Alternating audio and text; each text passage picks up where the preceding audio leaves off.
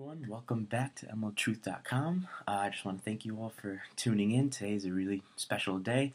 Um, in case you haven't heard, about 2,000 years ago, there's this guy named Jesus who died on a cross um, and then rose three days later, and that's why we're celebrating this weekend. Um, and if it wasn't for that weekend, well, then, you know, we wouldn't have apologetics. So thank you, Jesus, for dying on the cross for our sins and all that. Um, today, I want to focus on extra biblical sources extra biblical sources are sources that are outside of the Bible that go uh, that align with it in terms of history. So, for example, a lot of people say, "Oh, well, you know, Jesus never existed." Um, well, to them, I say, "Well, he did. We have the Bible that tells us he did, and the Bible is historically accurate." Um, and they'll say, "Well, there's no sources outside of the Bible that prove that." And what we're going to talk about today is one of those sources.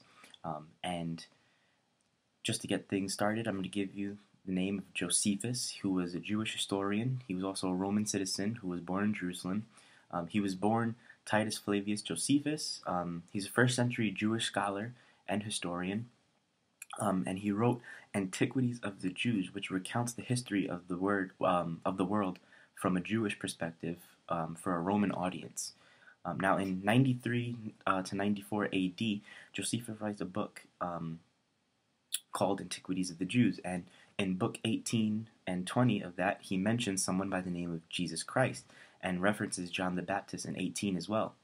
Um, so, right here, we have mention of Jesus Christ and John the Baptist as historical figures in the Jewish um, world. Um, now, the references in Book 18, Chapter 3, have been accused of being altered, but there's a consensus on what is originally said. So, a lot of people say, oh, well, you know, they were tampered with, um, but most historians um, and respected scholars agree that they know what was originally authentically said about um, the references in Book 18, Chapter uh, 3. And then in Book 20, Chapter 9, um, James is mentioned as the brother of Christ, Jesus. Um, this is widely accepted again to be authentic among almost all scholars. Um, almost all modern scholars agree that the book, um, that book 18, chapter 5, uh, the record of John the Baptist, is also to be um, authentic.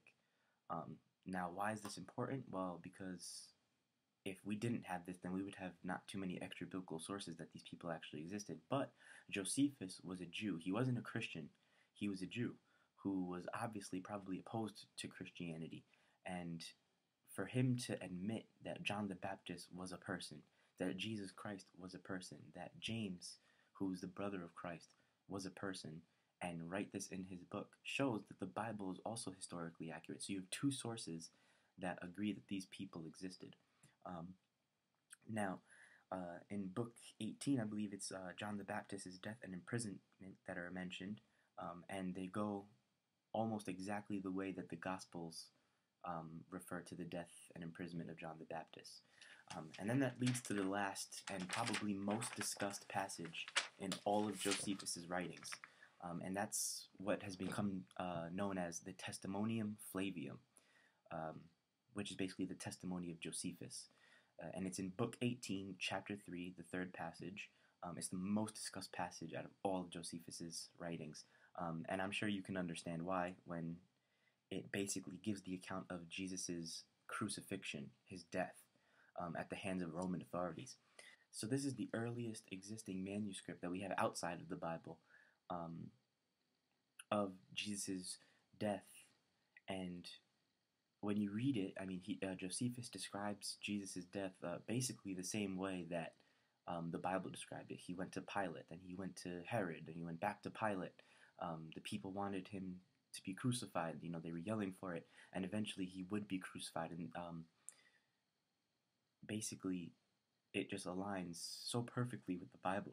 And for someone to say that Jesus never existed, that he never really died on a cross, whatever accusations they want to make, um, you know, the Bible is already enough for me in terms of a historical uh, context. Um, but when you not, if you if someone asks for extra biblical sources, then you could take them to the writings of Josephus because it's right there. There's several passages that say exactly what the Bible says.